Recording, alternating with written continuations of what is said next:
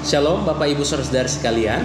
Dalam daily devotion kali ini izinkan saya untuk membacakan satu ayat firman Tuhan yang bisa dikatakan ini adalah kalimat syahadat orang percaya. Yohanes 17 ayat 3. Inilah hidup yang kekal itu, yaitu bahwa mereka mengenal Engkau satu-satunya Allah yang benar dan mengenal Yesus Kristus yang telah Engkau utus. Dari ayat ini kita melihat bahwa ketika kita mengenal Allah dan mengenal Yesus, maka itu akan membimbing kita kepada hidup yang kekal. Tidak ada orang yang benar-benar selamat sebelum dia mengenal Allah dengan benar. Satu ketika ketika Yesus Kristus menyembuhkan orang buta yang sudah buta sejak lahirnya, namun orang tersebut belum sempat melihat Yesus dan belum sempat untuk mengenal Yesus. Lalu Yesus berjumpa dengan orang buta tersebut dan bertanya, "Apakah engkau percaya kepada Anak Manusia?" Orang buta tersebut menjawab, "Siapakah dia, Tuhan, supaya aku percaya kepadanya?" Kata Yesus kepadanya, "Engkau bukan saja melihat dia, tetapi dia sedang berkata-kata dengan engkau. Dialah itu." Orang buta tersebut yang sudah disembuhkan lalu berkata, "Aku percaya Tuhan." Lalu ia sujud menyembahnya.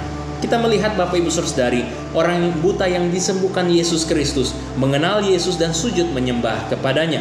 Pengenalan akan Yesus akan melahirkan penyembahan yang benar dan penyembahan yang benar kepada Allah mewujudkan hidup yang kudus, hidup yang setia, hidup yang berkenan kepada Allah. Terjadi kesembuhan, terjadi pemulihan, ada terobosan mulia dalam hidup orang percaya. Itu sebabnya saya heran bagi orang yang hanya karena hal-hal duniawi, orang itu meninggalkan Yesus Kristus. Dapat dipastikan orang tersebut belum mengenal Yesus dengan benar. Dan tugas saya sebagai pemberita Injil adalah untuk menolong jemaat untuk mengenal Yesus lebih dalam, mengenal Yesus dengan benar, sehingga hidup kita, respon kita, perilaku kita, penyembahan kita, ibadah kita, segala aspek hidup kita itu lahir dalam pengenalan yang benar kepada Allah. Maka jika itu terjadi, muncul transformasi yang begitu luar biasa dalam hidup kita. Cara kita meresponi hidup akan berbeda cara kita uh, menghadapi tantangan berbeda, cara kita ibadah, cara kita melayani Tuhan juga berbeda. Oleh karena apa? Oleh karena ada pengenalan yang benar kepada Allah. Pengenalan yang benar kepada Allah akan melahirkan transformasi dalam hidup kita secara luar biasa. Kita berdoa.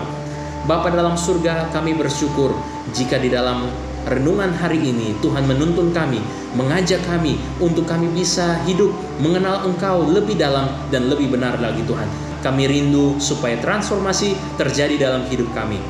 Biarlah Tuhan yang berperkara bersama-sama dengan kami dan kami menerima berkat Tuhan. Demi nama Yesus Kristus kami berdoa. Amin.